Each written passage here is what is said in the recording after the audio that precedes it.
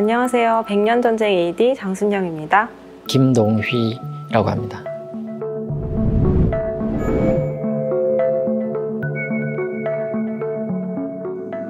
서머너즈 워 안에는 되게 다양한 문화권의 캐릭터들이 들어있었고 특징들을 잘 살리면서 스타일이 하나로 이어질 수 있도록 만들기 위해서 등신대를 높이게 됐습니다. 저희만의 개성을 가지고 있어야 하고 원작도 살려야 하고 두 가지 토끼를 다 잡아야 하는 상황이었기 때문에 완성하고 다시 회의를 하고 완성하고 다시 수정을 하고 이게 새롭게 만드는 것보다 더 어려웠던 것 같습니다. 가장 고려했던 거는 이 친구들의 성격을 가장 잘 드러나게 해보자 라는 거였고 마법 검사를 썼을 때의 감정 그걸 그대로 가지고 오고 싶었어요. 무뚝뚝하고 그런 느낌인데 갑자기 환하게 웃거나 섹시한 캐릭터가 되면 감정선이 깨지기 때문에 어, 그 표정을 잡는 곳에 제일 신경을 많이 썼던 것 같습니다.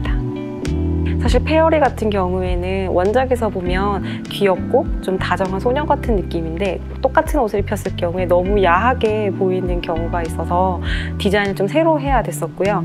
힐러의 느낌을 많이 주고 싶었어요. 그래서 좀 순수하고 착한 요정을 표현하고 싶었습니다. 저희 캐릭터만의 악동 3인방을 뽑았는데 그게 임프, 코볼트, 폭탄광, 브라우니 이렇게 세 가지였거든요. 약간 좀 광기 어리고 약간 좀 미쳤다 표현하기 위해서 눈도 약간 다르게 돌아가고 혀도 약간 반쯤 내놓고 막 약간 리자드맨 같은 경우도 컬러감도 되게 다양하게 쓰고 도깨구리 같은 거를 들고 다니는 주술사라는 캐릭터성을 좀 더 부합해서 백년 전쟁 안에서는 모두가 다 주류가 될 수 있는 뭐 모든 캐릭터를 좀 개성 있게 고민을 많이 하면서 작업을 했던 것 같습니다.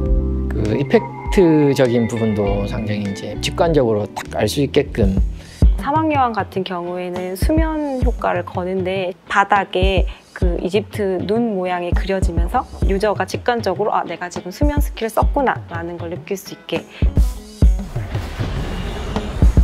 팔 대 팔로 대전을 하다 보니까 16마리의 캐릭터가 동시에 어, 화면에 뿌려지게 돼요. 그래서 전황 파악을 가장 중요하게 생각하는 게임이었기 때문에 캐릭터들끼리 서로서로 구분이 잘 될 수 있게 상체 쪽으로 조금 더 환한 컬러를 쓰고 강조할 수 있는 오브젝트들을 많이 배치를 해서 서로 다른 모습을 보여줄 수 있도록 했고요.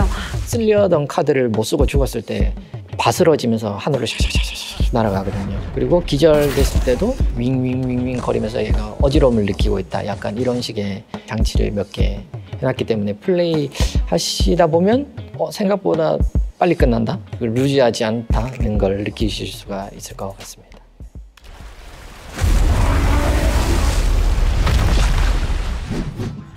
처음 봤을 때는 이게 뭐지? 약간 RPG 같기도 하고 뭐 워게임 같기도 하고 헷갈리실 수도 있는데 어떤 캐릭터를 조합했을 때 딱 터지는 재밌는 부분들이 있는데 그걸 한번 알고 나면은 아마 저희 게임을 놓지 못하실 거라고 생각합니다. 경쾌하고 세련되게 플레이를 하실 수 있을 것 같습니다.